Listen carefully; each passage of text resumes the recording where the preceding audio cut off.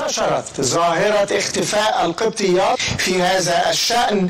زوجة اسمها غادة صابر في اسمها غادة أو بيت أمن اسمها نهلة ولا نهى معرفش أنا ما, ما بتفرقش معايا مش عايز أشهرها السيدة نهى السيد اللي هي أصلا كانت مسيحية وتركت المسيحية ودخلت الإسلام حديثا وعملت قناة على اليوتيوب. طبعا دلوقتي هي هي نمرة واحد على اليوتيوب. ما تشهرهاش. وإحنا وإحنا تايهين. وإحنا مش عارفين حتى مش عارفين حتى نرد عليها. حاول مع الكنيسة وشوف ولادك و- طبعا ده هياخد وقت. إحنا كمسيحيين مش عايزين ولادك يبقوا مسلمين. اللي مزعلني إن بالفيديوهات بتاعتكم بتضعفوا الإيمان المسيحي الضعيف للناس. السلام عليكم ورحمة الله وبركاته إخواني وأخواتي الأعزاء. حياكم الله جميعا وبارك الله فيكم. كل عام وحضراتكم بخير وتقبل الله منا ومنكم صالح الأعمال. لما ربنا سبحانه وتعالى أنعم عليا بالهداية واعتنقت الإسلام حسيت بفرحة كبيرة. وزادت فرحتي أكتر لما عرفت إن مش بس أنا اللي ربنا اداني النعمة دي. بل في ناس كتير سبقوني لاعتناق الإسلام. وفي ناس كتير بعدي اعتنقوا الإسلام. ولغاية النهاردة بنسمع عن قصص لمسيحيين دخلوا في دين الله أفواجا. ولكن يزداد الأمر روعة وعظمة لما يكون الداخلين في الإسلام هم القساوسة والشمامسة وعلماء مسيحيين. واللي كانوا بيدعوا الناس للمسيحية في يوم من الأيام.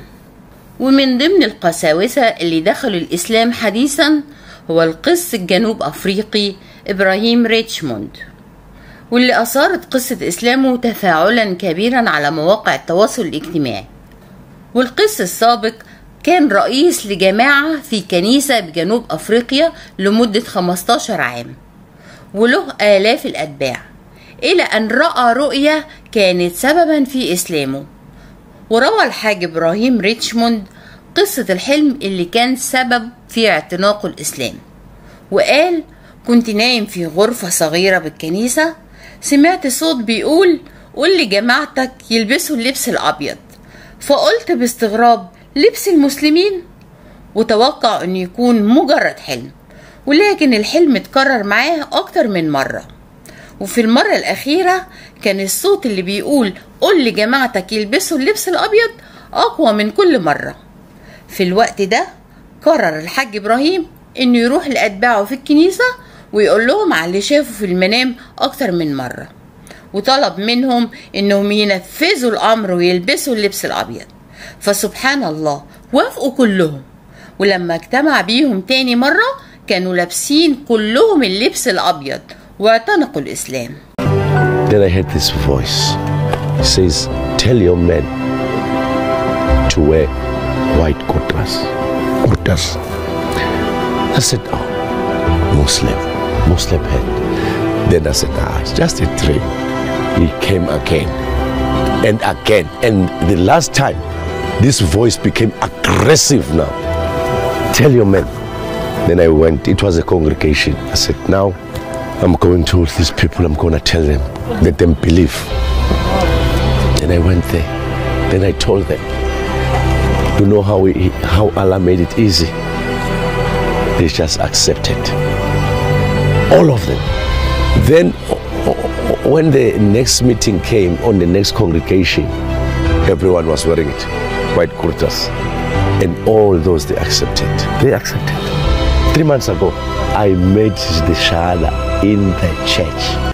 والفيديو اللي نشره برنامج شبكات بيوضح تلقين الحاج إبراهيم ريتشموند الشهادتين لأعداد كبيرة من أتباعه في قاعة الكنيسة وهم لابسين الملابس البيضاء أشهد أشهد الله الله والحاج إبراهيم موجود حاليا في السعودية علشان بيقدم مناسك الحج بعد أشهر قليلة من اعتناقه الإسلام. وأكد إن الأمر بالنسبة له كان حلم وأصبح حقيقة. والحاج إبراهيم كان عايز يصعد جبل النور لكن الأخ اللي كان مرشد ليه قال له ده صعب. فرد عليه الحاج إبراهيم وقال له لا شيء صعب باسم الله لا شيء صعب سيجعلها الله سهلة علي Yeah. No, nothing is hard. When you have that heart, nothing is hard. In the name of Allah, nothing is hard. He make it easy for me. وأكد الحاج إبراهيم إن الرسول محمد صلى الله عليه وسلم لما جه هنا كان لوحده وأنا عايز أتبع خطوات قدمه والملايين من بلدي جنوب أفريقيا هيتبعوا الخطوات دي Peace be, be upon him, Muhammad. When we went up here, he was alone. I will follow the footsteps. And I believe by following these footsteps, millions of my people in South Africa will follow these footsteps to see the light. This is the mountain. وختم الحاج إبراهيم حديثه وهو بيستمع لآيات من القرآن الكريم وبيبكي ويقول إن القرآن هو النور يهدي الله لنوره من يشاء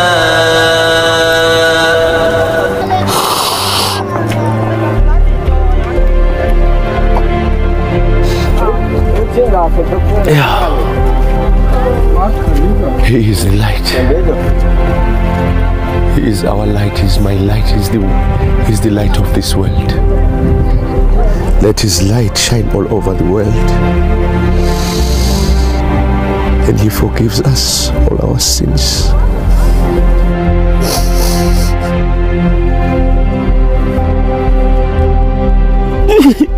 حضرتك غالي جدا عند الله علشان أهداك الرؤية الجميلة دي وهداك للإسلام اللهم اهدي من كان في قلبه مثقال ذرة من خير إلى دينك الإسلام وثبتنا على الإسلام حتى نلقاك.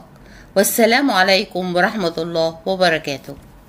فمن يرد الله أن يهديه يشرح صدره للإسلام ومن يرد أن يضله يجعل صدره ضيقا يجعل صدره ضيقا حرجا كأنما يصعد في السماء. كذلك يجعل الله الرجس على الذين لا يؤمنون.